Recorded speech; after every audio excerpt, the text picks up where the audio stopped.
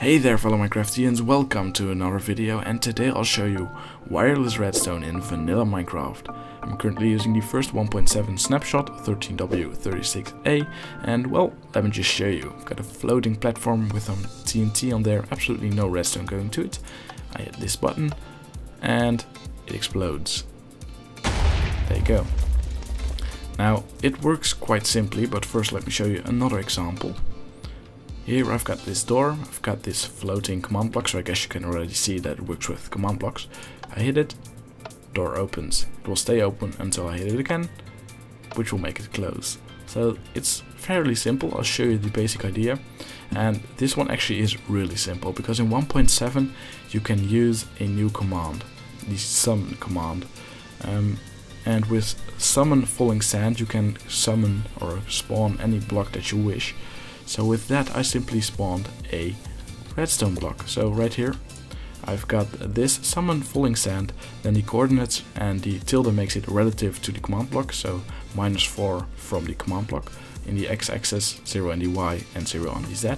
Then the tile ID is um, the ID, the data value of the block, 152 is the redstone block and time is 1 means that it will not go away because that will also happen, I'll show you that in a second.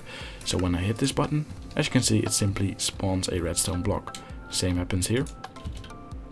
Just a redstone block is spawned there and when TNT is around it, it will blow up.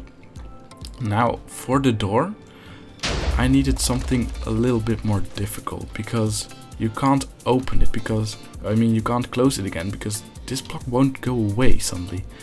After playing around with it for quite a while I found this.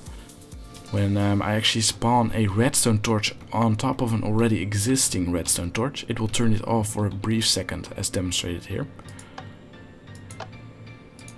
And this is what I said about time equals zero. So I've got it time times defaults uh, to zero. So when at zero, it will disappear again very quickly without actually staying. So that will give a very short pulse uh, and when you invert it, it will make a very short on pulse and that's exactly what I used over here.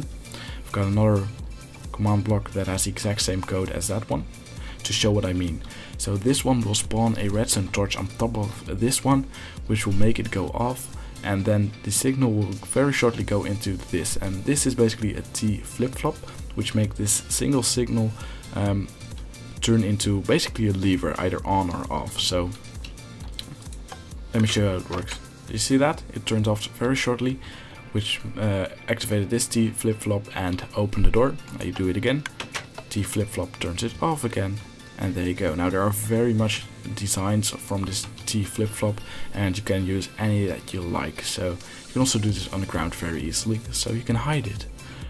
Let me show you two more examples. I guess you already uh, get how it works right now, so I won't explain much more about it. Um, about the range, it's quite far. As you can see, absolutely no redstone. Once more, I hit this button, and there's some TNT in that house. And the house is gone. Now the range is as far as the chunks are loaded, because this will only work in loaded chunks. So, there you go. Another example would be this train station. Let's say your train cart is at the absolute wrong side. Though there's already one track here. So let me remove that one so it won't go wrong. But um, you can very simply call your train minecart thingy by hitting this button, which once again spawns one of those redstone torches. And wait for it. Wait for it. There you go. Your minecart will come flying towards you. So that's pretty cool. Let me just send it back the other way And I'll very quickly show you this. Uh, you already guessed, probably you can guess what is going on here. Same thing, this one will get replaced, which will be inverted, so a very short pulse. This thingy right here makes the pulse longer, activating powered rail and sending it on its way. So there you go, really simple.